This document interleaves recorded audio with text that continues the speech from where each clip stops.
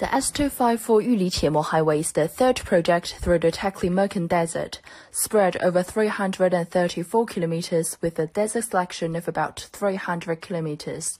It has the widest distribution of flowing sand dunes and is considered as one of the most difficult construction projects in the world. The highway is the world's second largest shifting sand desert. It has a windy season that lasts seven months. The natural conditions in the area are extremely bad with no water and electricity, poor signals, and visibility of less than 5 meters due to rampant sandstorms. To prevent sand accumulation, we're using the approach of sand barriers plus grass grids. The project is located in Qiemo County, which is part of Altai Mountains Soil and Water Loss Prevention Area.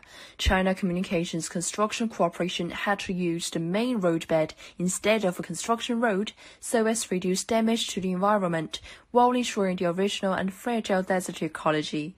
Building or maintaining a standard desert road is a major problem, especially when the deserts are moving constantly. Several times, questions have been raised as to the need for building roads in such a difficult environment.